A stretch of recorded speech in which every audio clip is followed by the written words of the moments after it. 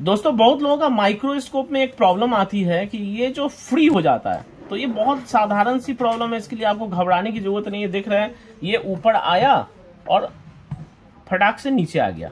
तो इसका जो सॉल्यूशन है कुछ भी नहीं है। आ, ये पकड़ना है दोनों एक साथ पकड़ना है दोस्तों और दोनों को एक साथ एक क्लॉक बाइज एक, एक एंटी क्लॉक बाइज घुमाना है। सामने से दिखाइए जरा। एक ऐसे घुमाना है एक ऐसे घुमाना बस। इसका कान यूँ एक दूसरी की तरफ़ हटना है, एक अपनी तरफ़ हटना है। बस, देखिए। देखिए, हो गया? अब अब ये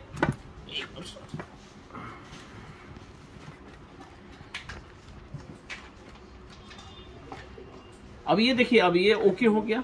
आप दिखाइए, दूर से दिखाइए जरा। हम्म देखिए।